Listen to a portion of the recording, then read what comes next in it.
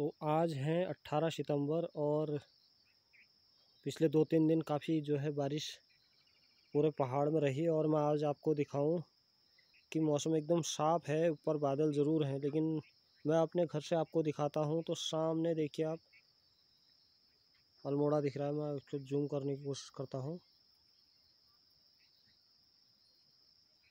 ये देखिए, ये अल्मोड़ा दिख रहा है और उसके पीछे बादलों से ढका हुआ हिमालय। और अगर हम सामने अगर देखते हैं तो इस टापू में माँ श्यामा देवी का मंदिर है। और नीचे जो है कोसी बहती है नीचे।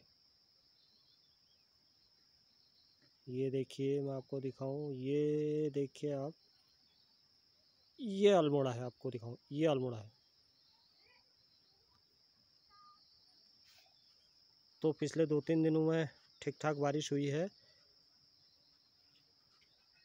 जो जल स्रोत जो है इस साल रिचार्ज नहीं हुए थे। पूर्ण तरीके से तो अभी भी नहीं, लेकिन बहुत ज़्यादा राहत मिली है। तो मैं आपको अपने अपने घर से पूरे, पूरा दिखाऊँ। ये देखिए, एकदम हरियाली। और ऊपर देखिए आप, कोहरा से ढका हुआ पहाड़। ऊपर टॉप में हमारा जो है देवी का मंदिर भी है।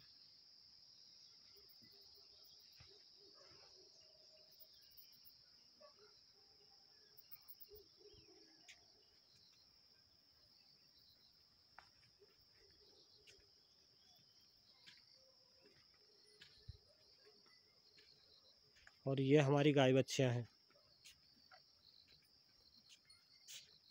और सामने पूरा जंगल।